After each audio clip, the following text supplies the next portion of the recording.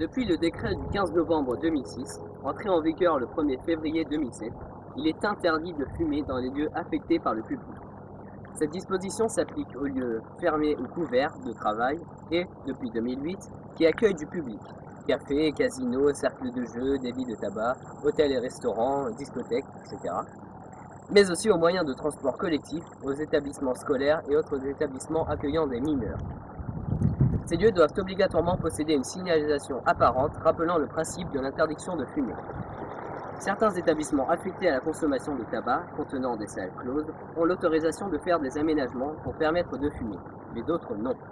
Tous les établissements scolaires, collèges, lycées, universités, les centres de formation des apprentis, les établissements accueillant des mineurs et les établissements de santé. Cependant, ces aménagements, s'ils ont lieu, doivent respecter des normes telles que l'équipement d'un extracteur d'air, une superficie maximum de 35 mètres carrés. Le projet de créer un, emplacement à la disposition des fumeurs doit être soumis au comité d'hygiène et de sécurité.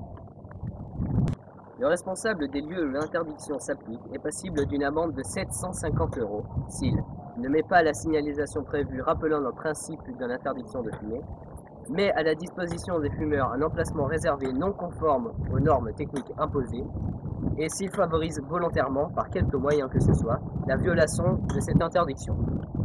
Le fait de fumer dans un lieu à usage collectif, en dehors de l'emplacement réservé à cet effet, est puni d'une amende pouvant aller jusqu'à 450 euros.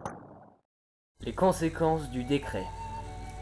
La qualité de l'air dans les pubs et les restaurants s'est nettement améliorée.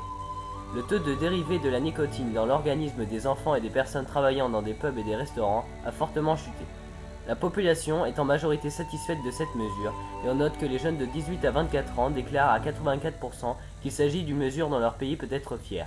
Il n'y a pas d'augmentation du tabagisme à domicile qui aurait pu venir compenser une baisse du tabagisme dans les lieux publics.